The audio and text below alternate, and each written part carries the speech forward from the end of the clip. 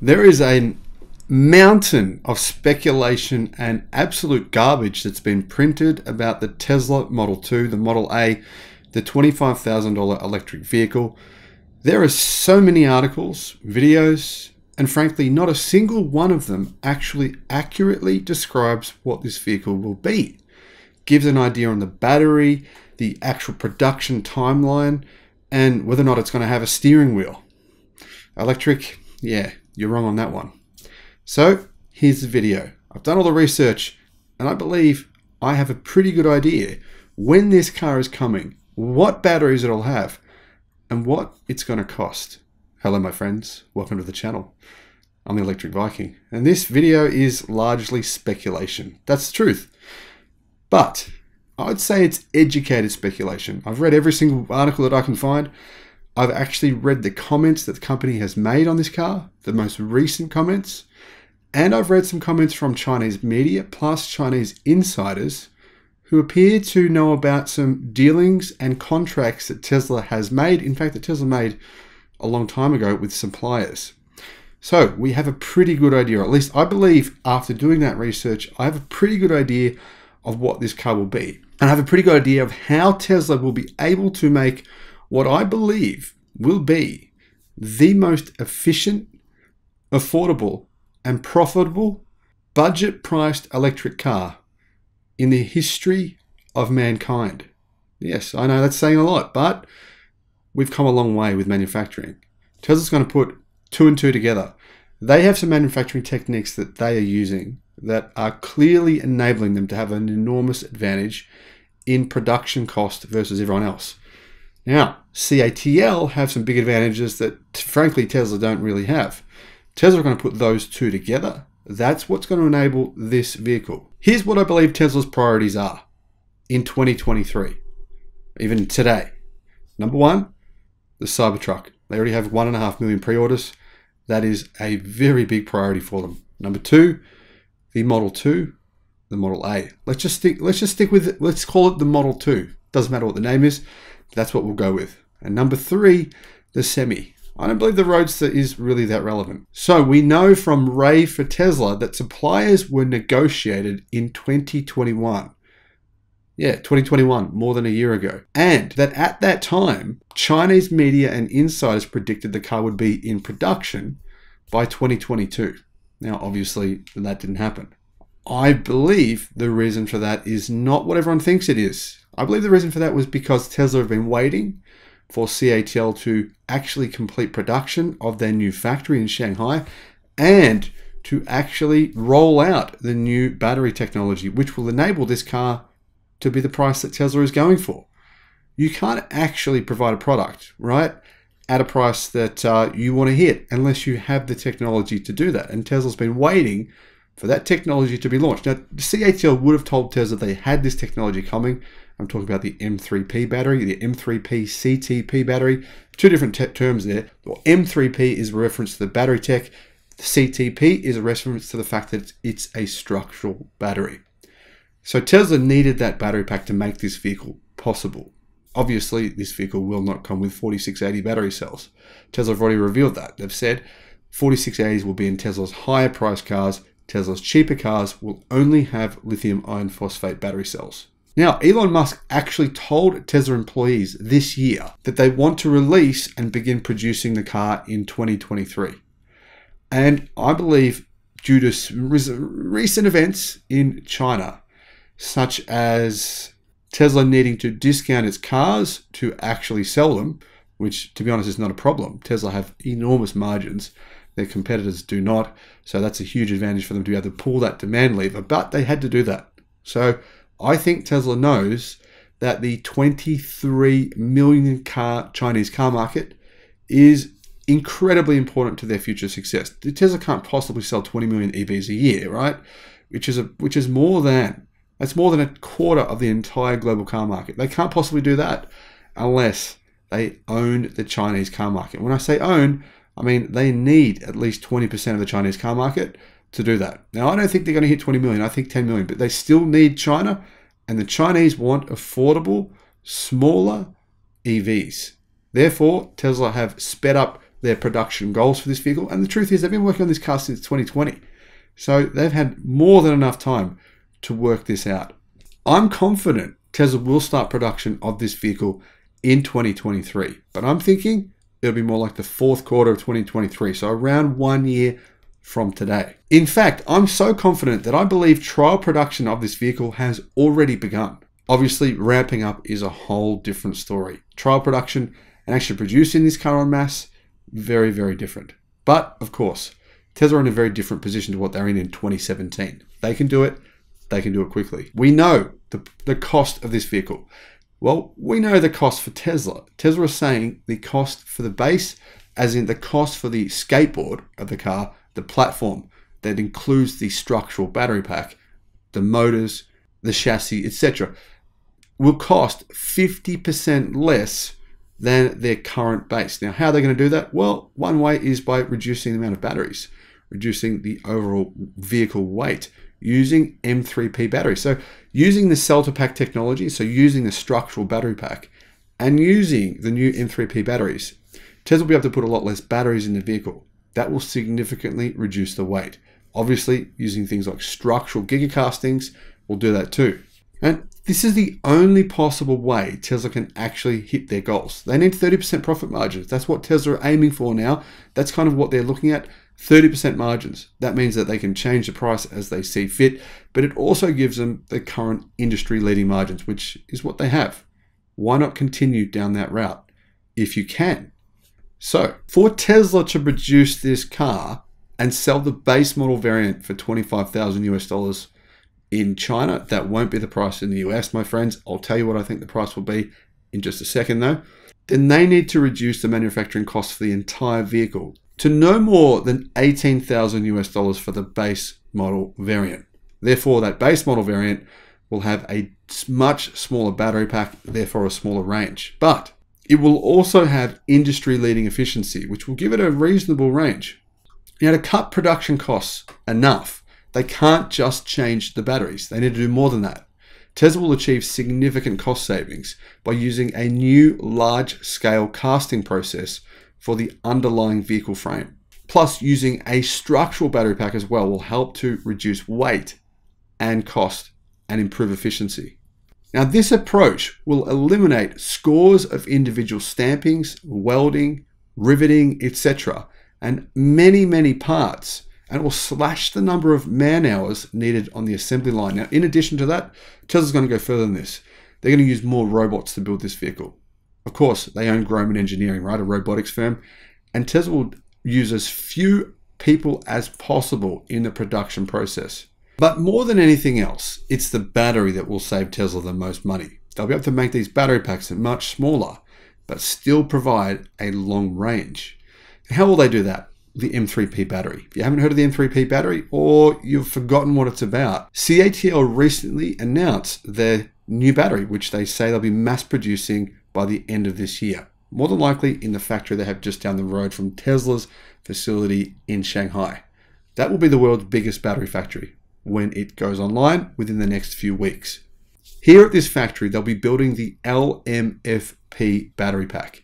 LMFP stands for lithium manganese ferrophosphate. It's very similar to an LFP chemistry, only that the manganese allows for the voltage to rise from 3.2 to around 4.1 volts, and this means there is a higher energy density inside the same form factor.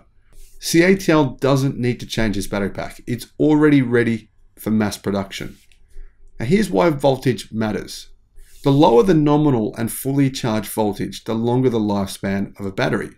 If you look at LTO, lithium titanium oxide, aka LiTiO3, the nominal voltage lies at 2.3 volts, and the lifespan can reach around 2,000 cycles with a fully charged voltage at 2.8 volts. If we look at lithium ternary cells, which are produced for vehicles such as Volkswagen EVs, Renault EVs. I mean, most electric cars, General Motors uses lithium ternary batteries. They're the most common type of battery on the market now, but they are more expensive than LFP, lithium iron phosphate batteries. Some of the kinds of batteries we see in a lithium ternary battery are NMC chemistry, which is lithium nickel manganese cobalt oxide, and NCA batteries, which use a nickel lithium cobalt, and aluminium oxide chemistry. And these are what are currently used for most Teslas, well, all Teslas that don't use lithium iron phosphate cells. So it's believed that with the new M3P battery being manufactured by CATL, what CATL have managed to do is give a lifespan similar to lithium iron phosphate batteries with a higher operating voltage. Now, M3P batteries use the same olivine structure as an LFP battery. However, they replace iron with magnesium, zinc, and aluminium.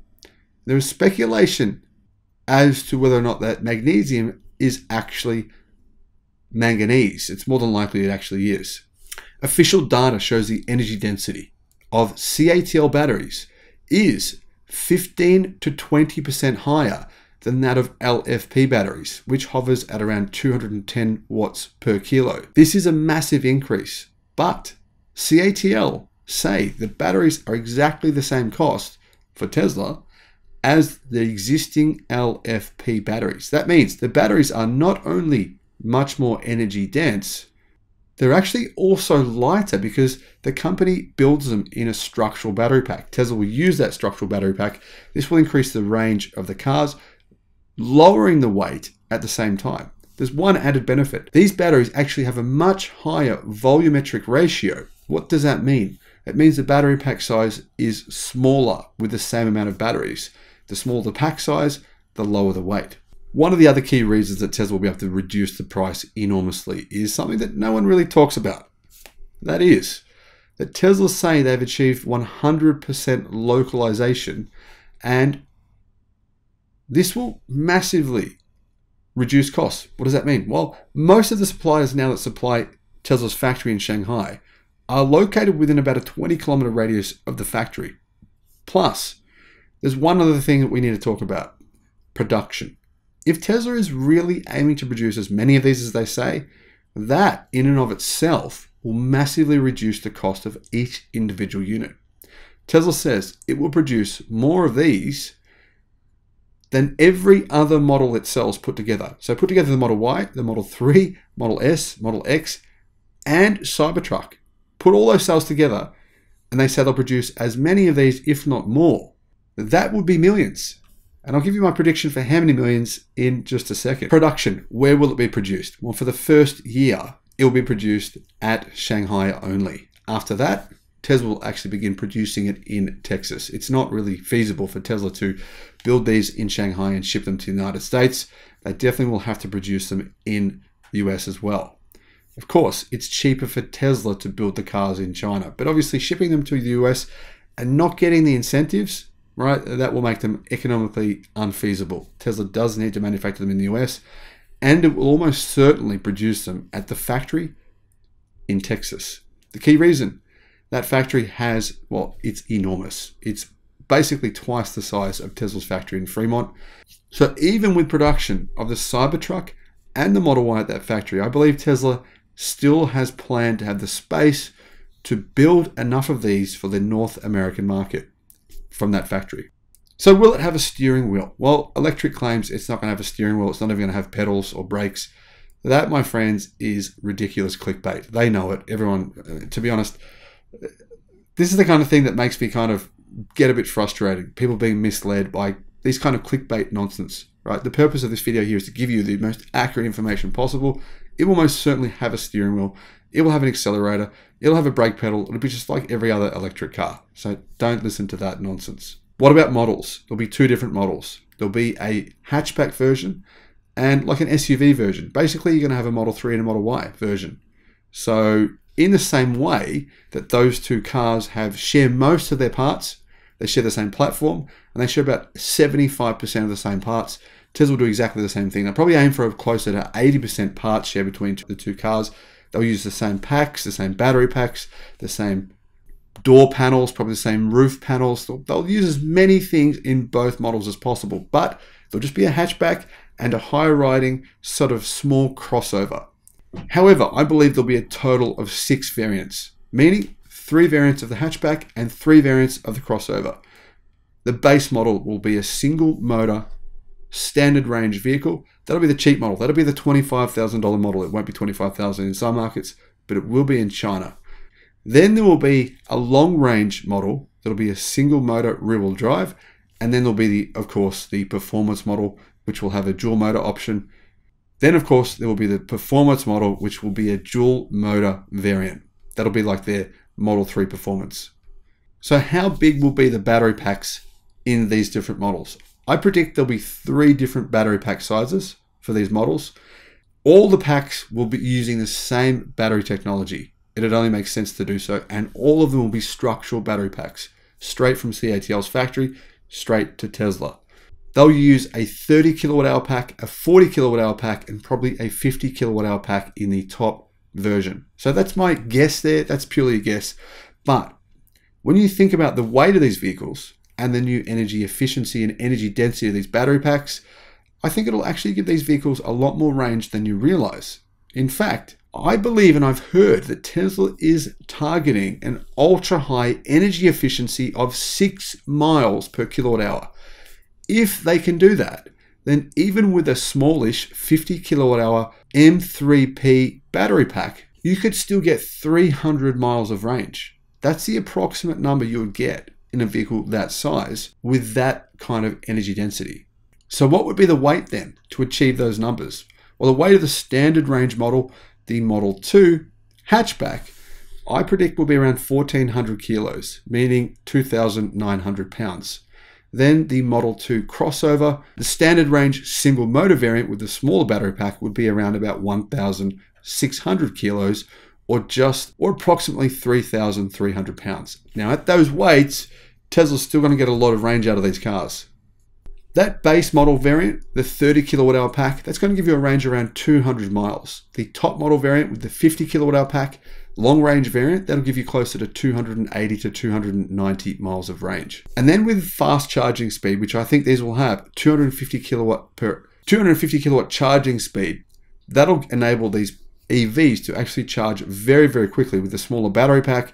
You'll find that that'll be more than you'll need or more than the average person will need. So what's the price going to be?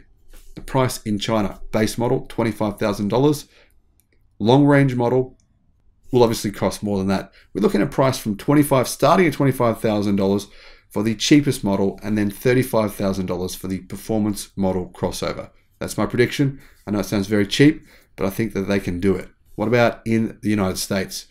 Price will start at 30,000 US dollars in the US and will top out at around 40,000 US dollars. What about the price in Europe? Well, European price will actually be cheaper than the US, even though they won't be making them there. That's what I believe anyway. I believe they'll make them for Europe at the factory in China and ship them straight to Europe. Now, there's really no reason for Tesla to make these in Germany.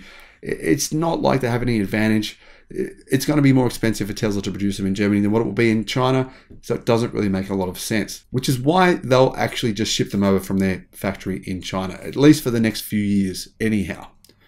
Price, though, in Europe will be cheaper because one big reason. In Europe, we're going to see an influx of affordable electric cars from China. Many, many people are already saying they believe 20% of the car market within the next few years will be Chinese EVs in Europe. So Tesla will have to contend with that. Therefore, they'll lower the price a bit 28,000 US dollars for the base model and around 38,000 US dollars for the top spec model. However, the key thing to remember here is there's only one way Tesla can price these vehicles at these costs and still make big margins, still make big profits. That's really important. That's Tesla's model. Big profits. I mean, we want to actually smash the competition. That's what they're doing now. To keep doing that, they need to make millions of these. Production numbers 2023, they'll be in the thousands, they'll be pretty small numbers. However, I predict in 2024, Tesla will produce 1 million total. And in 2025, that number will increase to 2 million, while in 2026, that number will increase to 3 million. By the time we get to 2030, I believe Tesla will be producing around 5 million of these vehicles. The, the hatchback and the small crossover per year. In fact, I'm going to go out here and be very aggressive. I am convinced, I'm 100% convinced, I'm committed to this principle.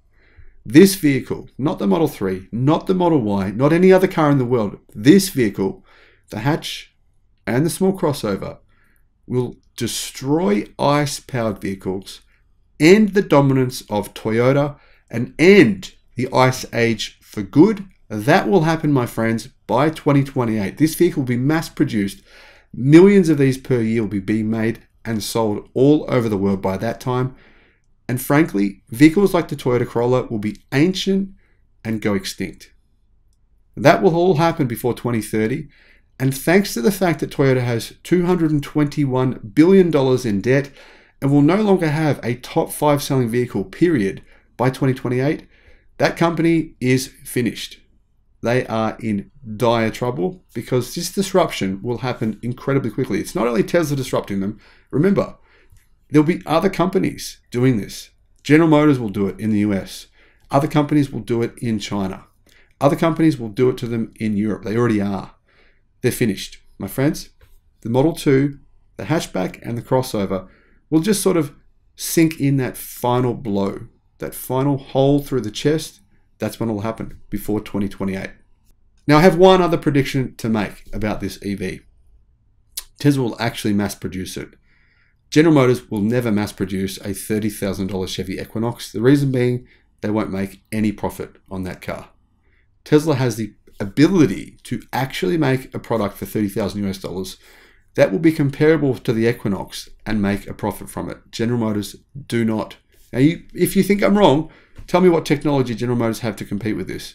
They don't currently make LFP batteries. And I know some of you are speculating that they will, but there's no plans for that to happen. So that's not happening at least within the next few years.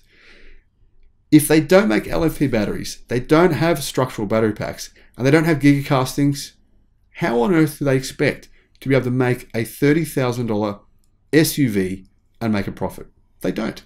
They're reasonable people, even though they don't sound like they are all the time. They know that that's not possible. That's a marketing ploy. So I wouldn't be falling for that one. Now, let's end this on a high note. This will be the most affordable mass produced EV in history. I'm talking mass globally produced. They'll be made and sold in hundreds of countries all around the world. But it will also have the highest efficiency rating of any electric car, and it will finally convince the skeptics, the haters, and all the naysayers and make them admit that electric cars not only are better than gasoline powered cars, but actually they're also much more affordable.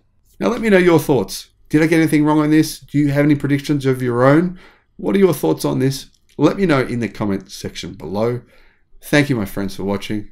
As always, have a great day, and I'll see you again on the next video. Bye bye.